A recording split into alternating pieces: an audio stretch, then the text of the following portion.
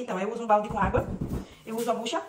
Esse aqui, que eu, essa pranchinha que eu uso aqui, ó, né, na, na minha, na, no meu joelho. Eu não gosto de usar a joelheira pra esse aqui, então eu prefiro usar esse aqui, fica mais fácil. Eu prefiro, né? E mais a knife que a faquinha. Então, o que eu Ele tem a rebarbinha, ó, isso aqui tá solto, mas quando ele tem aqui, ó, a rebarbinha, ó, eu só dou, ó, pra poder receber o grout, que é o rejunto, ó.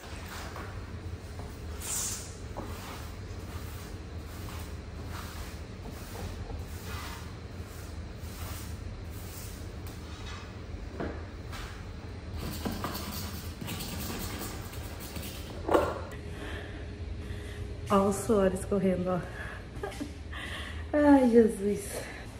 Tem uns trabalhadores ali na rua que estão fazendo a rua ainda, então eu tô aqui ainda pegando um ventinho. Eles lá estão debaixo do sol. Tá muito calor. Prontinha, aqui já tá ok. Deixa eu abaixar minha blusa. Até saltei aqui, ó, meus botões. Aqui já tá ok. Só aguardar pra aplicar o grout aqui. Já tá limpinho, ó, ó. Agora eu vou vir aqui pra cozinha pra também finalizar e o banheiro daí aqui em cima acabou essa etapa, que ainda tem mais coisa pra fazer aqui, né? E tem que aplicar o grout, claro. Pronto, encerrei lá em cima, o piso já tá ok. E agora, ó, vou vir ajudar o Zéias aqui. Daí eu bato o T7, vou abastecendo aqui o carrinho pra ele, ó. E vou dando uma organizada também aqui, nessa outra parte aqui, vou dando uma organizada. Então, só. Então aqui, agora eu vou iniciar aqui embaixo agora a nova, a nova etapa.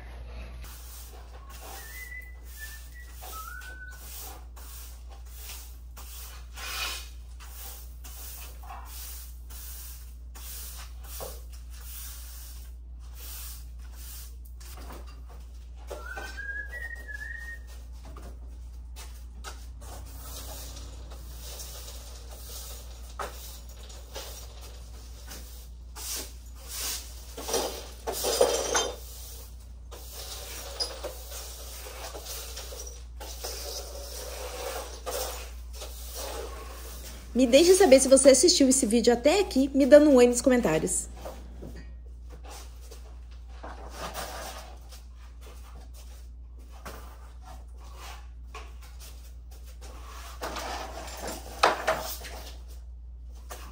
Esse é meu dia a dia como helper na construção. Ou como a gente fala no Brasil, servente de pedreiro. E tá tudo certo e eu tô gostando muito dessa minha nova profissão.